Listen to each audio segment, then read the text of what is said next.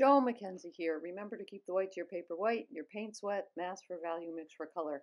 I wanted to see what would happen if I painted a picture of someone that I have an emotional attachment to because I've been painting the BBC actors and actresses and I don't have an emotional attachment to them.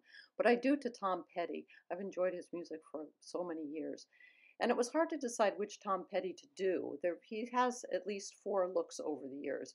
I decided to not do uh, number one Tom Petty. He's a skinny kid, uh, very high on cocaine. I would call this number two Tom Petty. And this is when I was probably first introduced to his music. I think he's still a little stoned here. But anyway, later on, he has a you know full beard and mustache, and uh, and I didn't want to get involved in that. The other thing I wanted to do was um, I wanted to do a closed mouth picture of him, and it was that was a little harder to find you know, he has he was a very private person, and so there aren't that many pictures of him in his private life. And so most of the pictures are from him on stage, and of course he's singing and performing on stage, and that's a stage, you know, the stage persona.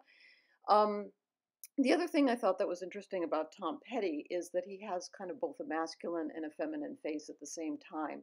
You know, those very high cheekbones and um, and that I always want to say delicate chin. Uh, that I, I, don't know what, what to call that chin. It's certainly elongated, and so it doesn't stand. Um, it doesn't follow the standard form for the male head, you know. And and this is where, no matter how much um, drawing you do, you sort of you have to make adjustments for individual differences. And in his case, that you know his his face from um, from the nose, well, certainly from the nose down, certainly from the mouth down, is elongated.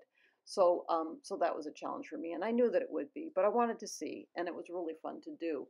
So, um, so I'm not sure where I'm going next. I, I, um, I still have some BBCers that I want to finish, but um, I do want to see what happens when I am emotionally attached to uh, somebody that, that I want to get a likeness of. Oh, the other thing that happened in this painting that was interesting to me is I felt like I got the likeness and then it disappeared and then i got it again and it disappeared and then i got it again and then at, at, in the end i think i did get it but um, but there was definitely some confusion around the mouth that i had to make some adjustments for and you know that's tricky in watercolor and if you're watching this then, then you probably know that so um, thanks so much for watching and watching and for joining my youtube channel and i will see you next time. Okay bye bye